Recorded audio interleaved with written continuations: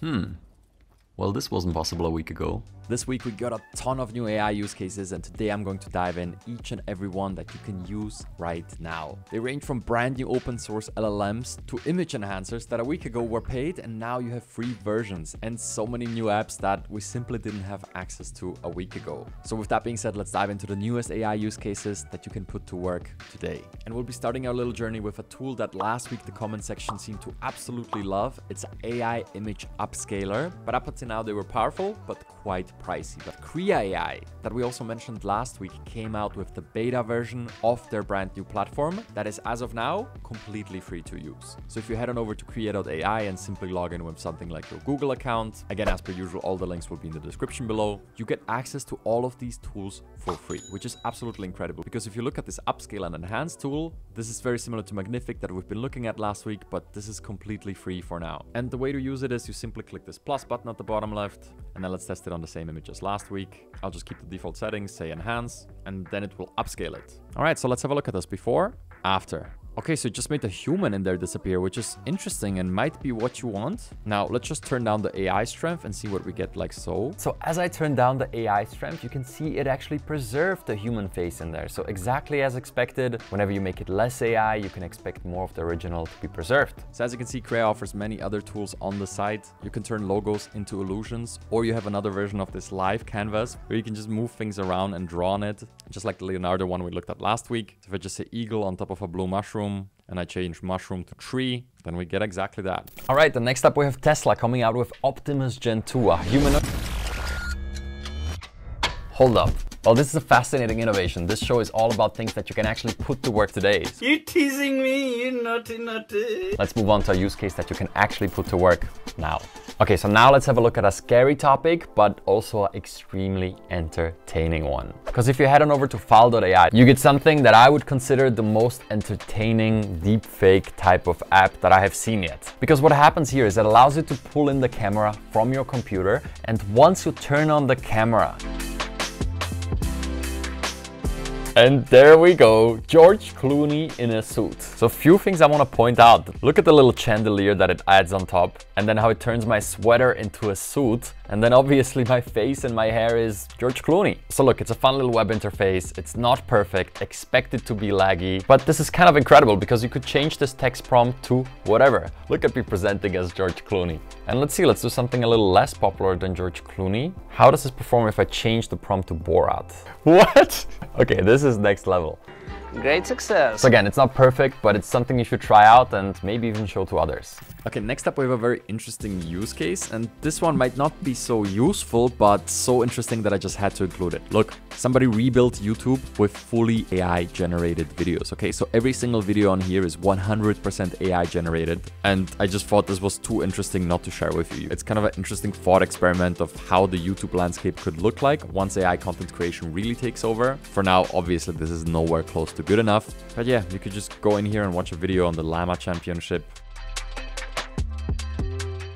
just really wanted to share this as I found this very inspirative as to where social media platforms might be heading over the course of the next years. So next up, I want to tell you about a data analysis tool that is actually also the sponsor of today's video. I'm talking about Julius AI. And you might be asking yourself, Igor, but you've taught us about the code interpreter inside of ChatGPT that already does data analysis. And you would be right, but Julius AI takes it a step further. You cannot just analyze datasets or create visualizations. You can even train machine learning models with only text prompts. And the whole point here is that Julius is purpose-built for data analysis and offers some user-friendly features that ChatGPT is missing. For example, you get secure file management, data cleaning functions, and even intuitive system prompting that teaches you how to use Julius as you go. And additionally, at each step of the process, Julius suggests prompts that allow you to dive deeper into the data in a user-friendly way. Plus, Julius also has vision. So whenever you have a complicated equation or task, just take a photo of it and it will write and execute Python code snippets to solve the problem. And here's an additional recommendation. Whenever you would be considering Excel, you can now use Julius and then create graphs and charts in seconds.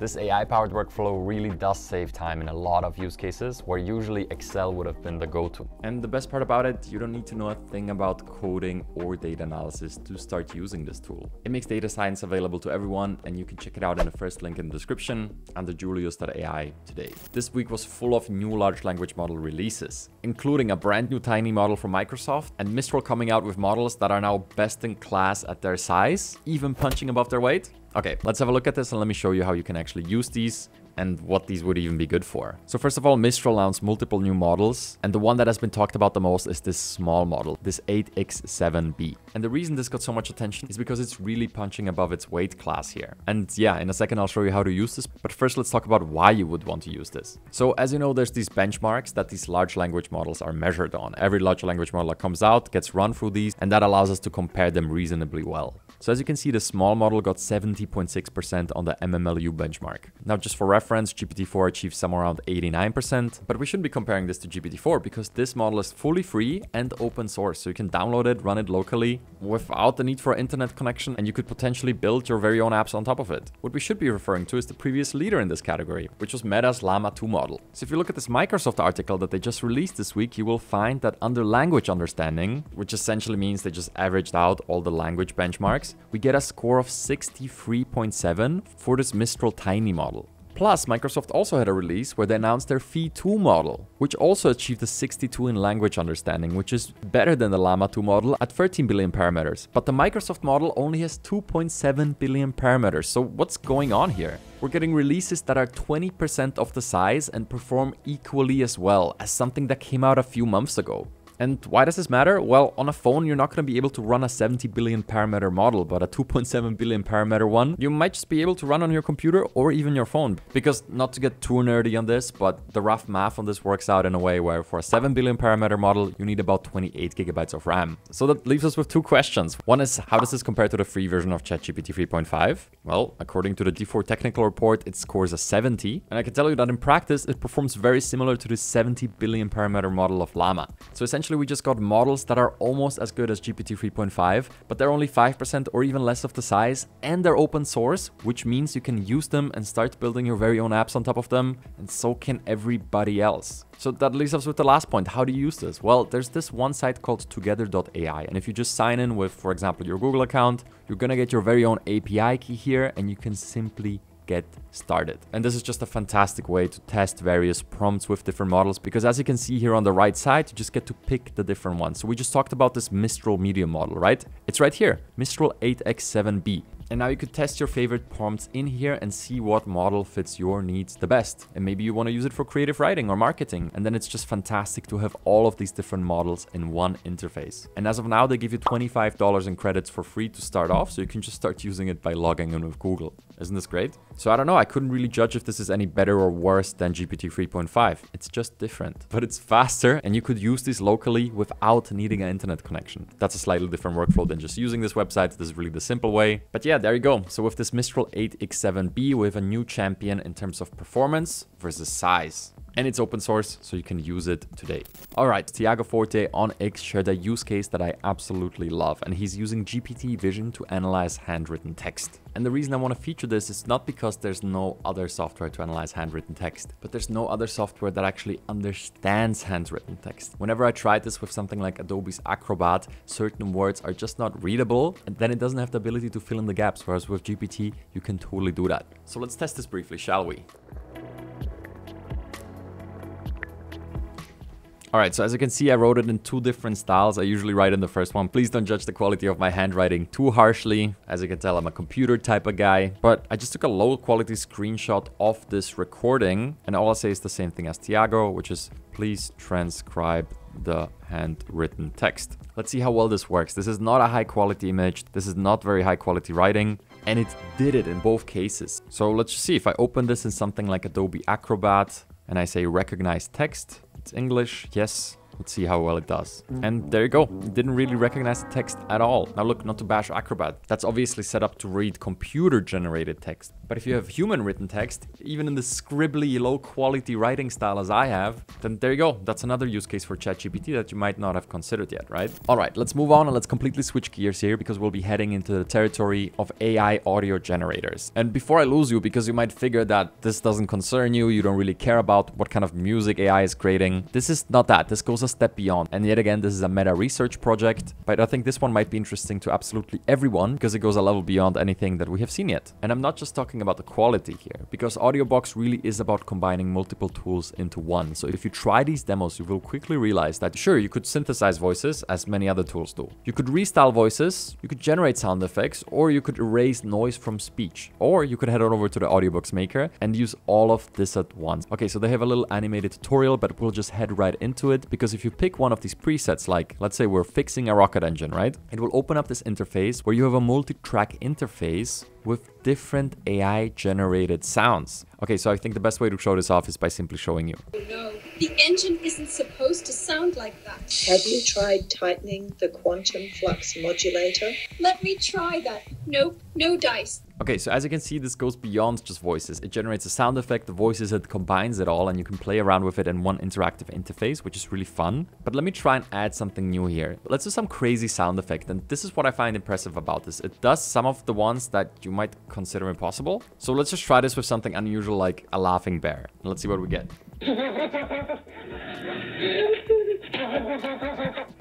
Not bad. So if you ever produced a video ever, you know that getting sound effects is a big part of polishing a production. So you could just generate them yourself. You could register new voices, add speech, and combine it all into one interface. And another interesting thing here is this voice restyling. So if I go ahead and just record my very own voice, the audio generation technology produces high quality speech and music for enhancing presentations. The audio generation technology and by the way, that was recorded on the internal mic. Let's just see how this works. And I'll just turn that little recording from the internal mic of the laptop into a different phrase in an excited and happy style. Let's see what we get here. Don't forget to like the video if you, you are enjoying it. Okay, the laugh was interesting. Let's do it again. Don't forget to like the video if you are enjoying it. You know what? I do want to give this one more shot where I get a little closer to the source. The audio generation technology converts speech into music, creating a sound that's both melodic and voices. Okay, so that seems like more of a fair test there, right? It's done, and let's generate again. Don't forget to like the video if you are enjoying it. So as you can see, these widely vary, right? And honestly, it's not really close to my original voice. Not great, not terrible. But nevertheless, this looks very capable. And getting a whole suite of tools like this for free is not a bad deal, right? So just be aware that it is a research preview, and when you do this often enough, it will just cut you off because there's just limitations they had to put on the usage. So again, a new set of audio generation tools, very interesting stuff. All right, so let's look at Microsoft Designer. And this is a very quick one because it's essentially DALL-E 3 that is freely available. And some AI Advantage community members have found that this works better than the Bing image creator. It's not overloaded, it's more reliable, and it's completely free. So you don't need ChatGPT Plus to use DALL-E 3 through the Designer image creator. That's basically it. Link is below. Let's move on to the next one. All right, and here I quickly want to return to this image upscaling also very briefly. We looked at this last week, but there's this brand new trend of upscaling emojis. So look, if I upload this crying emoji, you can pick all these different styles, right? And these have been going quite viral all across social media. So just want to show you how to do it. So for example, if I pick science fiction and horror, I bump the creativity all the way up, well, then I will get this result that is not the original emoji anymore, as you can see. So look at that. Oh my God, what appeared in its mouth. This is horrifying. But yeah, some of these have been going absolutely viral across social media. You could use different styles and you could use Krea.ai to do this for free yourself. You will just have to prompt it a little bit in the process. All right, next up, let's talk about AI video. And I want to quickly address this clip that has come out and that went viral across social media. Because somebody made a brand new news show where the audio and the video are 100% AI generated. And it's better than anything that we've seen yet because they actually took care and put some work into making this good. So here's a quick clip if you haven't seen this.